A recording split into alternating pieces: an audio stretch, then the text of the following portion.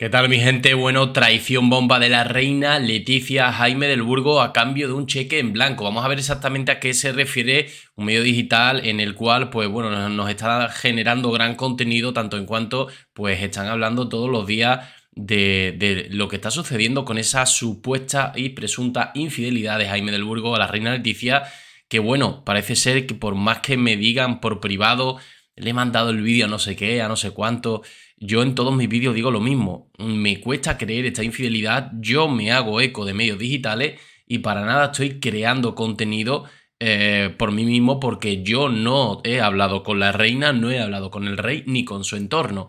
Por desgracia no tengo esa información. Si la tuviera, no os quepa la menor duda que, que evidentemente lo tendría todo bien atado para hacerlo, ¿vale? Lo digo para los poquitos comentarios que me llegan, porque por suerte son poquitos, a Instagram, eh, como amenazándome de por qué estoy hablando de este tema, ¿no? Voy a seguir hablando de este tema, porque sé cómo hablarlo y no tengo ningún tipo de problema, ¿vale? Dicho esto, vamos a pasar con la información, porque, insisto, me hago eco de informaciones, ¿vale?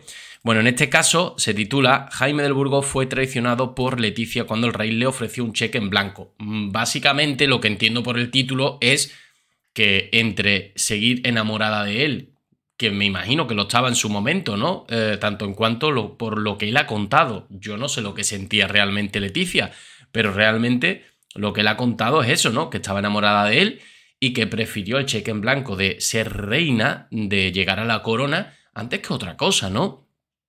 ¿Qué parte de verdad hay en toda esta historia de Jaime del Burgo?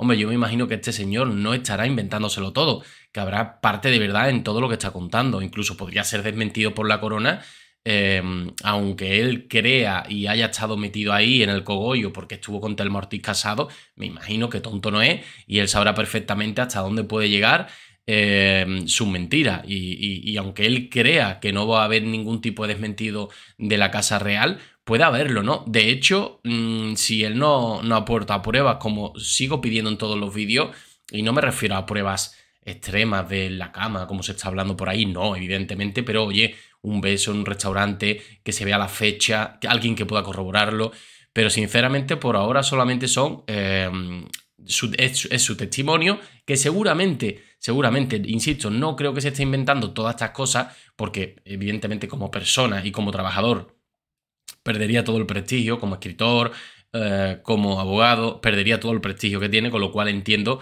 que no creo que se esté arriesgando hasta tal punto en todo esto, ¿no?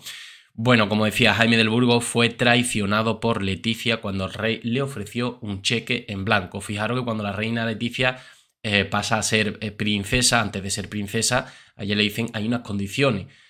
O sea, no te estás casando con cualquiera. Eh, esto no es cuestión de separación de bienes. Esto son, esto son cosas más serias tus hijas, pues, en estas capitulaciones matrimoniales quedarían a cargo del reinado, porque lo importante aquí es el reinado, no tú, en tal caso de separación o divorcio, y una serie de cosas más, ¿no? Pero bueno, lo importante era eso.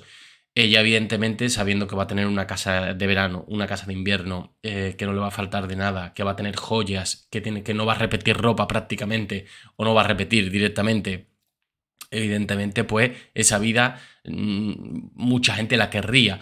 Otra cuestión es si estaba o no enamorada cuando conoció al príncipe en su momento, el príncipe Felipe.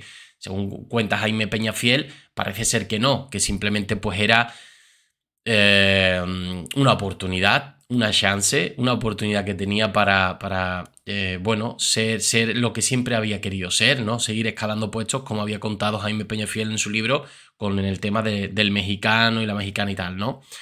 Bueno, puñalada de la reina Leticia Jaime del Burgo por el poder de la corona. Mi gente, espero que estéis dejando esos likes. Empezamos con el artículo. Suscribiros totalmente gratuito. Eh, y canal secundario Enrique García 2.0. Bueno, Jaime del Burgo es marido de Telmartí y es cuñado de la reina Leticia.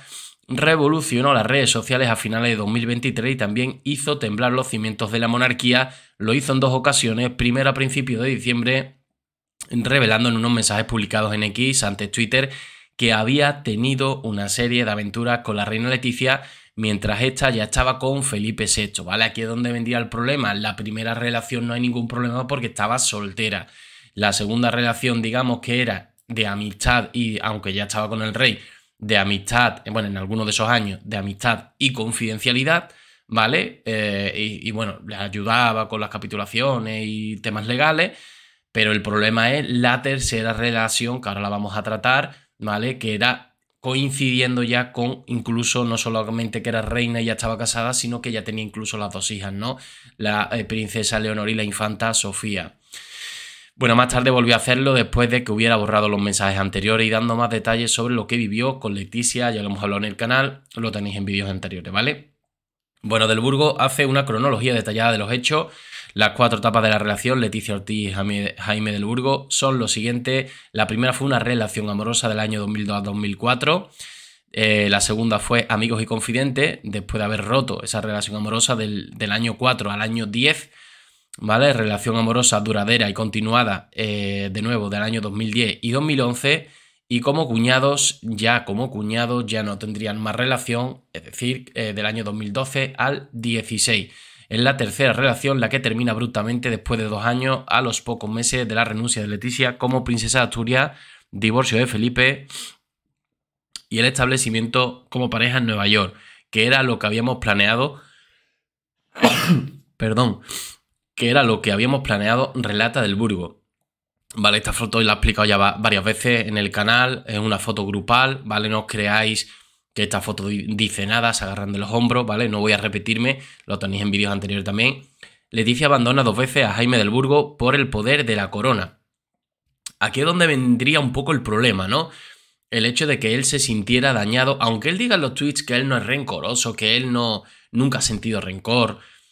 Eh, vamos a ver, una cosa es lo que él diga y otra cosa es lo que yo me crea. Igualmente que yo estoy en mi derecho de creerme si la infidelidad existe o no, que estoy dubitativo, ¿vale? Evidentemente no quita que yo también pueda pensar que tiene muchísimo rencor. No sé a qué acontece después de más de una década a salir a contar esto. Yo hubiera entendido aquel dolor en aquel momento. Tiene otra pareja, tiene nietos, hija, no sé qué, no sé cuánto, en fin, no entiendo a qué acontece más de una década después sacar esto y además mm, con cierta rabia, ¿no? Al menos por sus palabras es lo que parece. Jaime también revela que la primera ruptura se produjo dos días antes de la boda entre Leticia y Felipe. Bueno, creo que esto esto ya sí me parece surrealista, es decir, que sea antes de la boda, o sea, ya, ya no es que, bueno, que pudieron coincidir mientras que empezaba con Felipe, estaba terminando con él porque no sabía si... Y, lo llevó, pudo llevar las cosas de forma paralela. Ahí sí me puedo creer, ¿no? Que ella dijera, estoy enamorada de Jaime del Burgo, pero bueno, estoy, estoy ante una oportunidad de estar con Felipe, o oye, que me estoy empezando a enamorar de Felipe, no lo sé, ¿no? No, sé cómo sería realmente, porque yo ya sabéis que de Jaime Peñafiel, en, en, ciertas cuestiones que él valora personalmente, no me las creo mucho porque le tiene rabia, ¿no? Y dice que se casó por, por, por eso, por la corona, y, bueno, yo tan, no sé, a mí siempre me pareció que estaba enamorada de Felipe, la verdad explicando una escena que, de amor que tuvieron en la segunda etapa de su relación Jaime del Burgo comenta que la última vez que se habían dicho te amo antes de, retomarla fue el 20 de mayo de 2004. La boda real tuvo lugar el 22 de mayo de ese mismo año. Fijaros por qué él detalla el, día. Detalla el día porque fue dos días antes de la boda. O sea, es increíble. Eh, claro, pruebas no, pruebas no tiene. Eh, entiendo que pruebas no las va a tener sobre... Esto se lo dijo a viva voz, me imagino, ¿no? Eh, y no va a tener pruebas. Pero claro, es lo que digo, eh, ¿cómo se atreve a contar estas cosas un montón de años después para intentar dinamitar la Casa Real? Todo por temas políticos también, evidentemente. Hemos visto que también tiene cierta eh, enquina contra, contra eh, Pedro Sánchez y el gobierno actual. Y, a qué acontece que, ponga esto sin prueba y que no las va a tener. Al menos de esto, del tema de la fecha dos días antes de la boda, de esto no va a tener prueba. Creo, ¿eh? creo entender, vamos. En otras palabras, rompieron justo antes de que Leticia diera el sí quiero a Felipe VI en el altar. Curiosamente, la historia se repitió años después. Ambos eh, eh, reiniciaron la relación en 2010 cuando la princesa Leonor tenía 5 años y la infanta Sofía 3, lo que os digo, ya con las dos niñas habiendo incluso nacido de su vientre, y durante un tiempo de encuentros en Londres y en un piso de la calle Miguel Ángel se plantearon marcharse a vivir a Nueva York Incluso estudiaron poner una demanda para llevarse a Leonor y Sofía. Venía a Londres, yo a Madrid. Durante un año y medio pensamos y dimos pasos adelante con el objetivo de ser libres. Tratamos de la cuestión del divorcio de las niñas, buscamos asesoramiento jurídico. Eh, miramos juntos una casa en la Florida que lindaba con Zarzuela, donde vivir las etapas que estuviéramos en España. Consideramos Nueva York como la mejor opción de residencia permanente, revela del Burgo. Bueno, ¿hasta qué punto todo esto será verdad? Pues es lo que pedimos a Jaime del Burgo. Yo me imagino que no es un hombre, un hombre culto, es un hombre inteligente, es un hombre con estudio. Yo me imagino que este hombre, cuando habla estas cosas, será porque tiene pruebas. De hecho, lo, lo dio a entender eh, y lo dijo claramente, o mejor dicho, a finales de 2023. Y yo creo que está esperando un, un impasse de tiempo para saber y hacerlo poquito a poco por fracciones. Pero, mm, insisto, menos habladuría y más, más pruebas, ¿no? puñalada del Burgos para ser reina. Sin embargo, a Leticia se le, se le presentó una oportunidad irrechazable, un cheque en blanco para el resto de su vida. Se lo puso en bandeja el rey Juan Carlos I cuando se planteó la posibilidad de abdicar en favor de Felipe VI, una decisión que tres años después convertiría en reina a Leticia y que le sirvió a la ex de televisión española como pretexto para cargarse a Jaime y alejarlo de su vida definitivamente rompió la relación para siempre con tal de no poner en riesgo su inminente reinado. Bueno, eh, pues hasta aquí quedaría todo. Eh, ¿Fue una puñalada? ¿No fue una puñalada? ¿Realmente la reina Leticia estaba enamorada de él y se casó simplemente por la corona con el rey Felipe? ¿Qué pensáis? Dejármelo en comentarios, nos vemos en el siguiente vídeo. Un saludo.